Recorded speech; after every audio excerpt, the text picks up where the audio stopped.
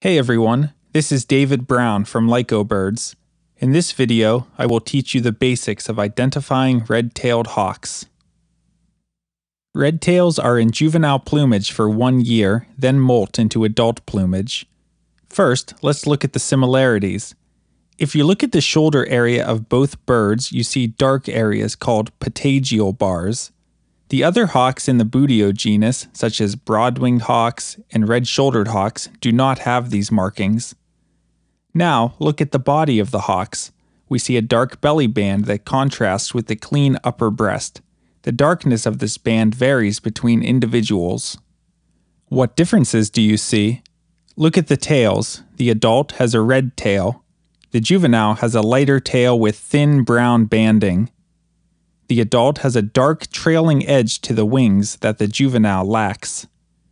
The shape of the red-tailed hawk is very important to learn because it is used as a reference when identifying other species of raptors. When we say that a Cooper's hawk has a long tail, we mean this in comparison to the red-tailed hawk. Let's take a look at the top side. The tail of the adult is bold red, the tail of the juvenile is brown with dark banding. Notice the paler square area on the wings of the juvenile. These feathers are translucent, and this pattern is often visible from below on sunny days. Here we have different postures. On the left is a glide with closed tail and wingtips slightly pulled back, giving the wings a rounded leading edge and straight trailing edge. On the bottom right, we have a dive or stoop as the red tail plummets toward the ground in chase of prey.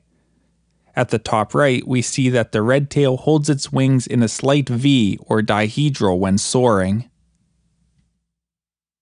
Red tailed hawks often perch in trees and on light poles, especially along highways. The belly band is a good field mark to look for when perched. Red-tailed hawks have a lot of regional differences. The subspecies in the west tend to be more heavily marked, and some individuals are dark morphs. In the east, we see heavily marked individuals in the winter that have migrated south from the northern population. If you found this video helpful, please give it a like and subscribe for more educational birding content. You can also visit our website at lycobirds.com this is David Brown. Thanks for watching.